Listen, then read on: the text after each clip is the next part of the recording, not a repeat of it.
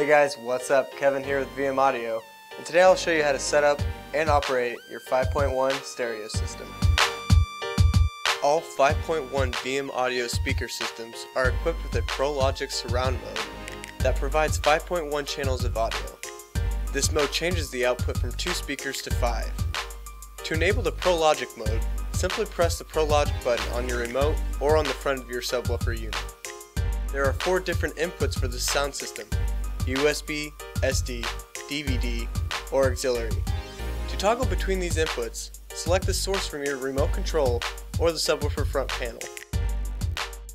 Each speaker on this multimedia system also comes with individual volume control on the remote. These controls are labeled on the remote as FL, FR, CEN, SL, and SR. Press the plus button to increase that speaker's volume and the minus button to decrease it.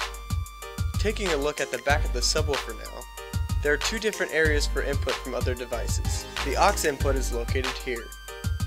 This input can be used to connect to an iPod, computer, or other similar devices using the RCA to 3.5mm cable, which is included with this speaker system.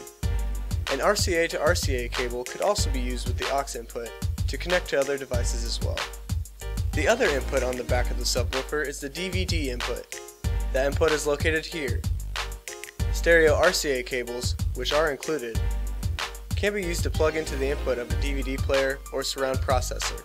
Simply connect these outputs to the corresponding inputs on the subwoofer. The final spot on the back of the subwoofer is for the audio output. This spot is where the speakers for the system are connected. The outputs are labeled on the back for each speaker location. I hope this video answered any question you had about setting up these speaker systems. VM Audio, the passion of sound.